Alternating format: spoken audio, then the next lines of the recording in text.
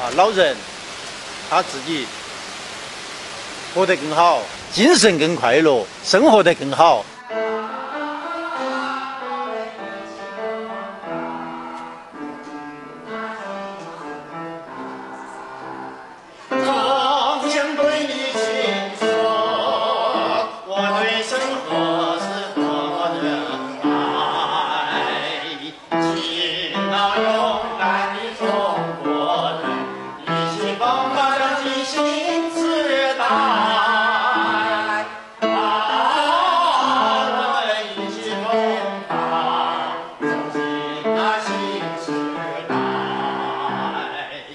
现在的养老院，它不再是原来那个概念。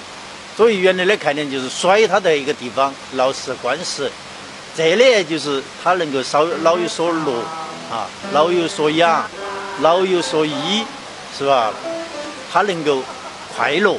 我所以在这里来，就是为了使他能够安心，能够适应这个环境。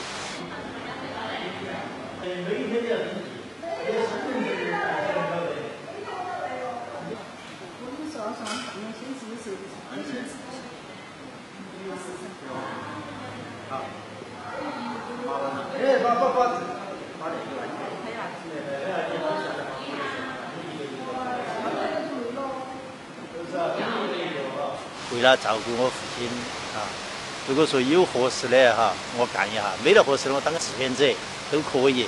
就是目的是照顾一下父亲，得跟到他嘛，他都比较安心噻。天天看到啊，有个人子女在身边，他就不孤独。老人他最怕那个孤独。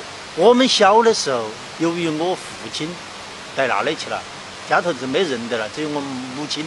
我们母亲要忙于工作，我跟我妹妹两个在托儿所的时候，现在我记得清楚的。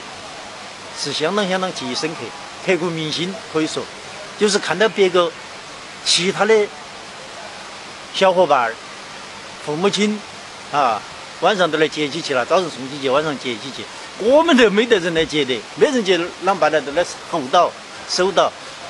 老年人他是一样的，老还小，老还小，他老了个都跟小娃儿一样的，他仍然需要亲戚，需要有人看望他。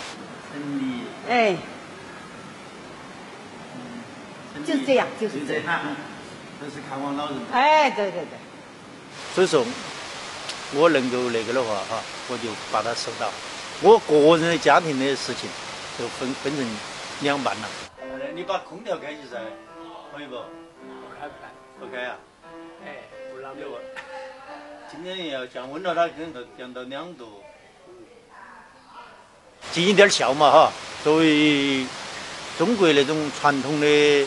百善孝先就是，所以就不管他啥子待遇不待遇，好多就是 那个南京大屠杀，我是南京过后那个抗日战争，哎，周围国去打打。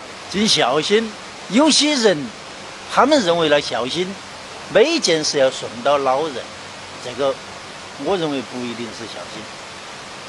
那个孝心要为老人好。空巢老人实际上是当子女的最大的不孝。我能够能收到他，啊，就是给老人一个安慰。